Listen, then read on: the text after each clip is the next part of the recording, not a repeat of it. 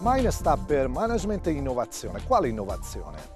Ma il management dell'innovazione, la gestione dei processi innovativi è un po' il nostro tema storico che abbiamo iniziato vent'anni fa ed eravamo piuttosto originali allo stato dell'arte. Eh, col passare del tempo abbiamo consolidato eh, il tema della gestione dei processi innovativi nelle imprese, nelle istituzioni nei territori e su questo tema si sono innestati altri temi che cerchiamo sempre di interpretare nei loro aspetti più innovativi. Per esempio eh, la gestione dell'energia, la gestione dell'ambiente, eh, le politiche industriali, il trasferimento tecnologico, per cui il management dell'innovazione è un po' il tema ombrello, il tema storico del nostro gruppo e ora abbiamo innestato vari sottofiloni che ci sembrano altrettanto attuali. Con chi lavorate? Chi sono in pratica i vostri partner? Ma direi che mh, nelle, nelle nostre discipline gestionali abbiamo eh, abbiamo una certa fortuna, in che senso? Perché riusciamo a lavorare contemporaneamente con diversi soggetti, con diversi stakeholders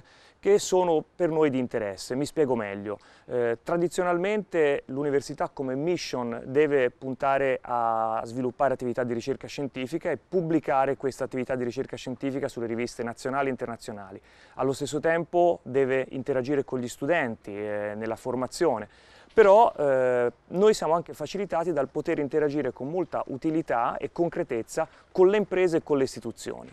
Perciò i nostri interlocutori sono tutti questi insieme e l'interagire con uno di questi interlocutori non toglie valore ma anzi aggiunge valore all'interazione con gli altri. Ora quali sono i vostri obiettivi di ricerca?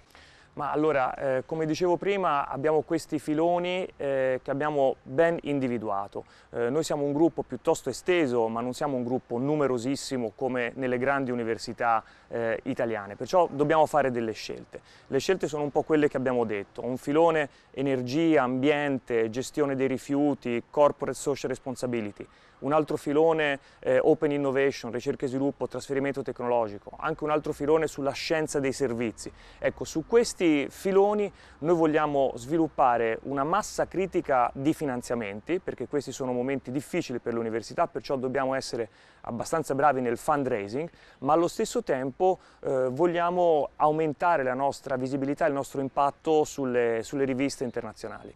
Ma da chi parte l'idea di un filone, di un progetto di ricerca? Ma direi che mm, non esiste una, una, soluzione unica. Talvolta sono le imprese, soprattutto le grandi imprese, che ci suggeriscono dei temi e noi ben volentieri accogliamo i loro suggerimenti. Eh, talvolta invece siamo noi che facciamo delle proposte a delle imprese o a delle mm, istituzioni, degli enti pubblici. In alcuni casi poi rispondiamo invece a dei bandi europei eh, presso, sui quali concorriamo e allora in quel caso il bando è già definito e noi dobbiamo metterci un po' la nostra creatività nel rispondere alle loro specifiche.